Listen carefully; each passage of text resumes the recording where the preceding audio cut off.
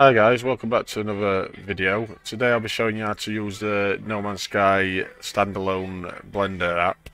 Uh, for this you'll have to download the No Man's Sky editor as well. So we'll go through all them steps, uh, show you how to use them, uh, how to import and export your bases to No Man's Sky, uh, show you a few features in the Blender app and stuff like that. So hopefully you'll enjoy this video and uh, earn a like and a sub if you're not subbed already. Uh, with that all being said guys, let's get on with the video. So what we're going to do first guys is download the NMS editor. Uh, I've already got it on here but I'll show you where to get it from. I've got to say before we start, I have got No Man's Sky on uh, Steam and on Xbox Game Pass. I couldn't get the Xbox Game Pass to work with the editor so I'll not be doing that. I don't know if there's a way that you can do that uh, but I couldn't figure it out, so I got No Man's Sky on Steam uh, just so I could use Blender because it is really, really worth it. Uh, so anyway, we'll I'll show you how to get No Man's Sky editor. You need to go to uh, github.com uh, forward slash goat fungus forward slash nms save editor. Uh, download that. I think you go go to file. Uh, I've already got it downloaded, so but there is a button on here to download But if you've not already got it downloaded. Uh, so just download that from here. Uh, I think I think it's ah it's on code there. Click that code. Go to download zip, download it, and then install it, guys. Uh, and then that'll bring you up with uh, this NMS editor here. What we can open like this, and this should just pick up your Steam account with your saves. So look, we've got slot one, creative. I've only got one save on it. So if you've got more than one save, it'll say like slot two, slot three. Uh, if you name your saves, it'll always, it'll also come up with that as well. Uh, so it'll come up with your most recent save, which is this one. Uh, you've got all these backups as well, but usually you want to go with top one really. Uh, there's loads of things you can do in this save editor. You can uh, change uh, how much money you've got, stuff like that. You can unlock all the Twitch drops, all the expedition parts, uh, everything. These pre-order things you can unlock as well. Yeah, there's there's loads of stuff you can do. You can upgrade your pets, your squadrons, ships, multi-tools, exosuits. Uh, I just got like unlimited unlimited Quicksilver nanites units on this. Uh, because I've already done it all before on PlayStation and Xbox and that. I'm not doing it again. I just want to use this for building. You can unlock all glyphs if you don't know them. You, you can do everything on it. Uh, but for this video, we'll be going to edit, and we want to edit raw JSON like that. And you want to find player state data. Uh, we'll press this, what you what you want to have done first is go and place a base computer in No Man's Sky, uh, name it whatever you want, uh, and then come to this player state data. Go down to persistent player bases. If you're finding it hard to find, look for all these chests, and it's two above that. So click on persistent player bases, click that little arrow and mine's the second base I've put down. Uh, what I'm wanting to edit, so it'll be this one. Uh, it's a second number, obviously. So number one, and what we want to do, you can see name it here, the Circle City, which is what I've called it. So we're going to press on this, and we're going to press Control A, which is select all, and then Control Control C. And that's that part done, guys. That's all you need to do with editor. So that's that's it uh, basically. Uh, keep that open, and then we what what we want to do is the next part of the video we're going to be downloading the NMS Blender app. So here we go. So to get uh, NMS Blender app, we want to go to nexusmods.com forward slash no man's sky forward slash mods forward slash 2598 and it'll bring up this no man's sky base building app.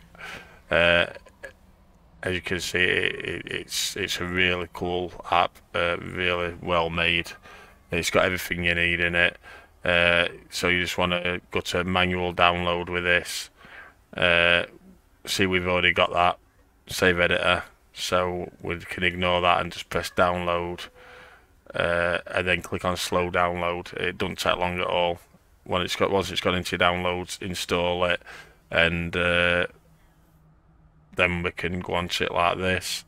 No Man's Sky base builder, and it'll bring up the program. Now, because we've already got that copied out with save editor, what we can do is go on to this, import, click on here, and what we want to do is press Control and V to paste, and we'll import it. See, I've already done this uh, in save editor. You'll just have a base computer, so all this will be uh, be gone. You'll literally just have base computer when you start, guys like that.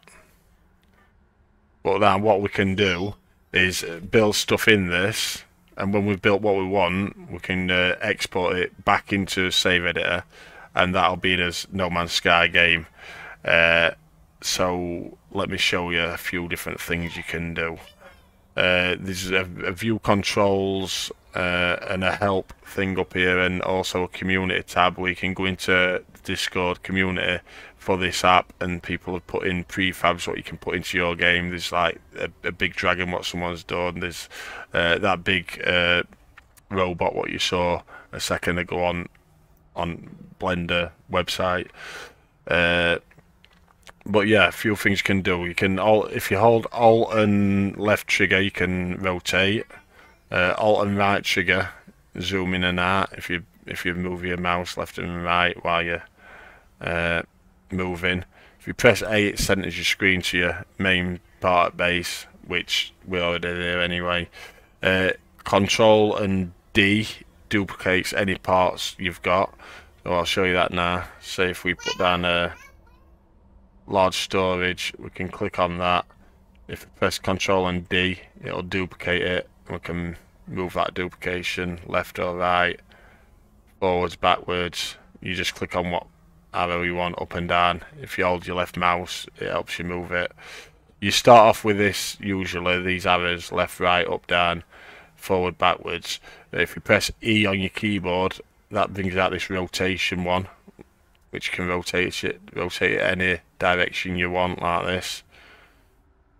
Uh, and then R is the resize, where you just click on it and then you move your mouse up and down while holding right, uh, left, mouse key so we can resize that to any part with any size we want. You can also resize with a scale on the right hand side of the screen here uh, and you can rotate and stuff using that rather than say if you want to say rotate to 90 degrees it's best to do it on side here because uh, that'll do it for you rather than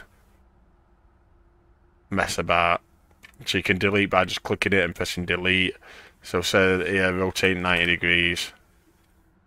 That'll be perfect 90 degrees. Uh, if you want to rotate it on its side like this, 90. See, that'll turn it flat on its side, and you know you've got it perfect if you use these on side here. Uh, I don't really mess about with translate, to be honest. I'm not. I'm not uh, bothered with that.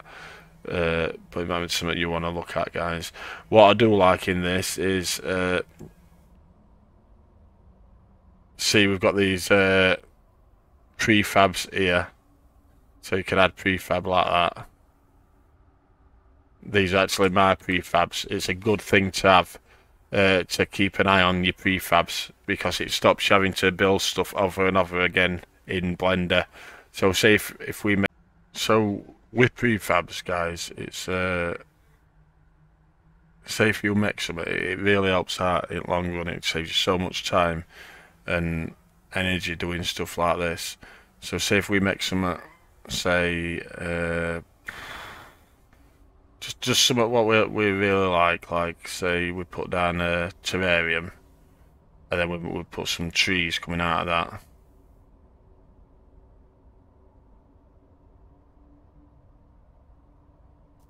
Like that. Put a couple of palm trees as well. And we want to save that. I mean, this is just a, a little example, guys, of what you can do. So we put a few palm trees here as well. And we've got this terrarium there. Uh, what we can do is we can select that, we can save as a prefab, put as uh, tree one there. And then every time that we're in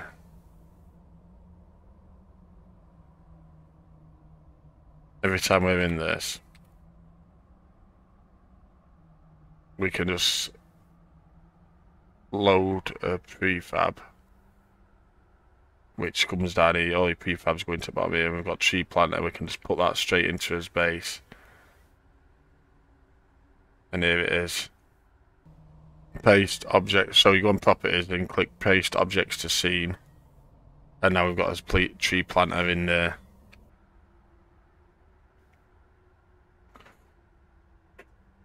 We can move all that over here towards his uh, centre of his base, like this.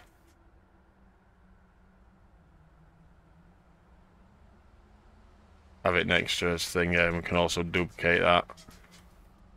So we can have like four of them. But it, saves so much time as you can see.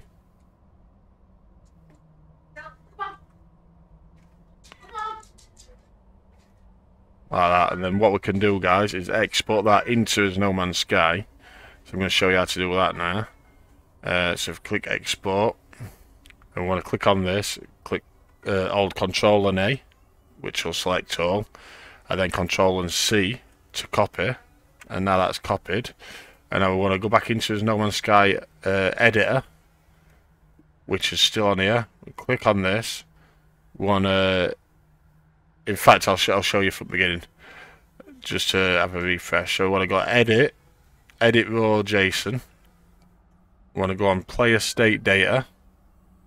Go down to uh, persistent player bases, which is two upfront chests. If you can't find it, click on number one because that's the actual one that we're editing at minute. Uh, it tells you the circle city, so you'll always know if you're editing the right one or not. Uh, press Control and A to highlight it all, and then Control and V to paste this into his game. And I will press X, and it'll say, "Do you want to save?" So we say yes, and then we want to go to uh, main save changes and now that'll saved it into his No Man's Sky game and what we're going to do is uh, on next section of this video is load up No Man's Sky and show you you actually in No Man's Sky. So let's get on with that. So we've loaded No Man's Sky up guys. We're going to play a game. Uh, as you can see it says within the circle city we're going to load this and them tree planters should be in the exact same position around as base computer as uh, what we put in the Blender program. Then I'm going to show you how to add stuff in No Man's Sky and then export it into Blender in like near enough real time. Uh, it's, it's basically the same process, but it's worth going over it again, uh, just so you guys can see it. So look here we go. We've got his base computer, his planters with his trees in. Obviously, this was just a rough uh, video, guys, to show you concept and how you can do stuff. Obviously, you'll make these a lot neater and better uh, when when you do it yourselves. I'm going to show you something what I made after as well. Uh, so if we delete these, just say we delete two of them, just for the sake of the video, and in their place we're going to put two of these. And we're going to put some other stuff about just so you can see what happens in Blender. We'll save. And now that's saved, we can go back into as a Blender, not as Blender app, as a save editor, like this, what's still open, and it'll say save file has been modified externally would you like to reload? Now all changes in, in the editor will be lost. Press yes. Edit, edit row, JSON. It's good to keep going on for it, guys, so uh, you get angry. Uh, player state data, go down to persisted player bases, which is two up uh, from chess. Uh, number one, because that's the one that we're doing. Control A, Control C to copy. Go into building app, import, Control V, import like that, and this change that's obviously changed everything to what we've got in game now. Uh, so that's how you do that. Quite simple and, and easy, guys. Uh, yeah, yeah, that's basically how you import export. Uh, I will say once you change something in here and do it the other way. So if if we put a a glass floor in like that, a glass corridor, I'll just put it high up here so we can see it in game. Once we do uh, export this into the game that. Export Control A, Control C. If we go back into our uh, edit and our and put this back into our thing like this, it'll ask if you want to save. Which say yeah. Click X on that, and then click Save Changes. And now we want to go into game and press Start. When we reload, that should be in the sky now, that glass corridor. So that's if that's opposite way around if you're doing it like that. Uh, I'm going to show you a few more features in the base building app as well uh, after this. So,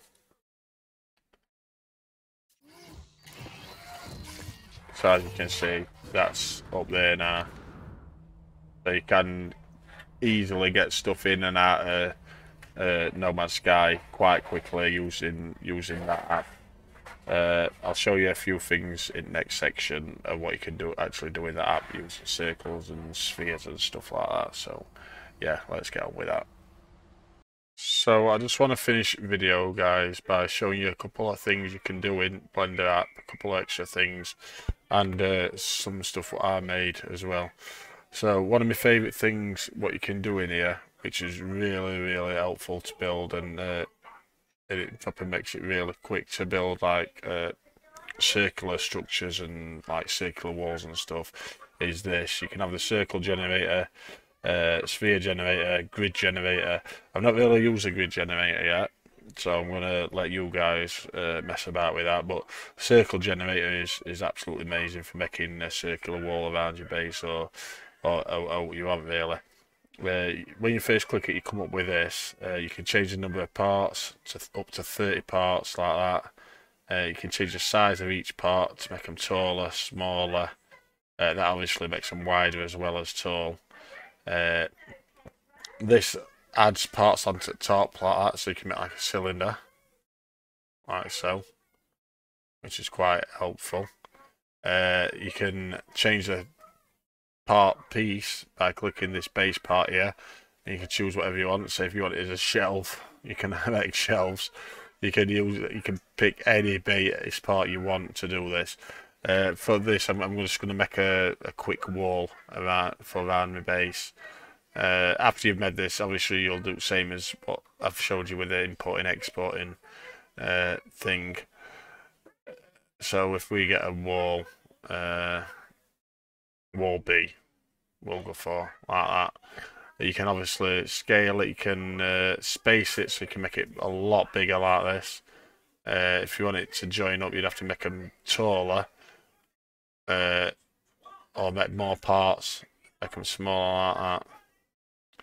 So that'd be a big, big wall around your base. And then you can just press paste objects to scene, and that'd be an actual wall and uh, just to show you the scale of that, uh, we'll put a biodome in the centre. Uh, just to have a look.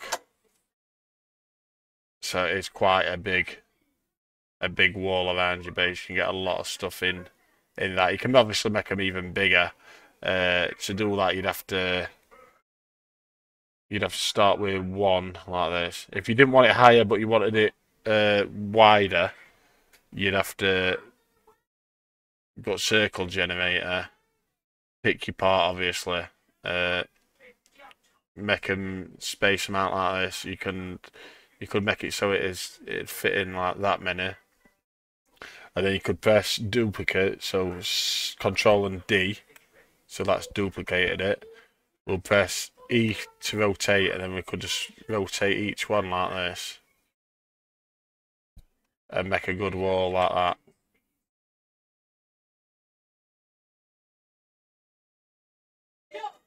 So duplicate a few times, and that's like a lot wider than than what we had before.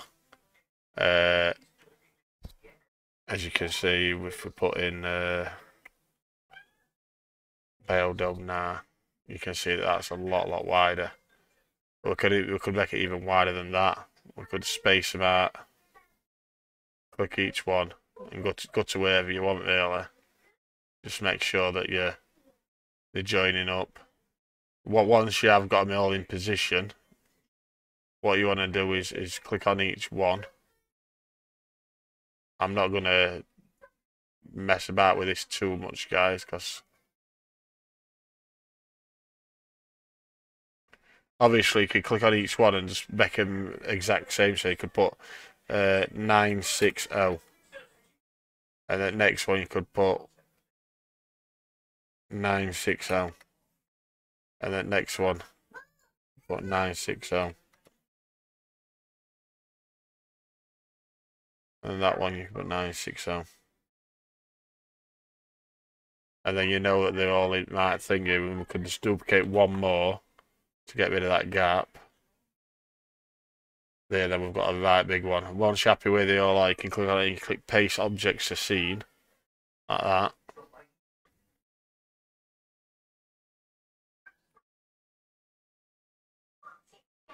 and that's your wall and your base. So that's one thing. Obviously, there's a a circle one, a sphere generator as well, which will just do that and make a nice sphere for you. Uh, that's quite a good a good tool to use. You could obviously make that 30 like that. try and make it look as good as you can. You can basically you same as what I've just uh, showed you on the last one. Obviously, you, that uses a lot more pieces up. You've got your total part part count here as well, guys. Tells you how many pieces you've used in game. Uh, but we're going to delete that. I'm going to delete that. I'm going to show you what I made on my last base. I actually did a base tour of this, so make sure you save stuff as well and save prefabs all the time as you go along. But I actually made uh, this as one of my bases. I actually, all I did in in this program, was I made this bit and the actual structure and these towers uh, and the underneath in this program, and that all took me about half an hour to do to do all that, and that's all, all it took me. And then I imported that into the No Man's Sky game, and then all these little buildings and that I actually made uh, in like normal building in No Man's Sky. Uh, and I think it turned out really, really, really well. To be honest with you guys, look at it. It's uh, say it was my first build that I've used Blender on. I think it, it, it turned out pretty good. But uh, I'm going to leave you with that anyway. Let you have a play about. Hopefully you've enjoyed the video and it's been helpful. Uh, if it has, please leave a like, uh, subscribe if you haven't already, guys. Hope you're having a great week, and I'll see you on next one. Take care.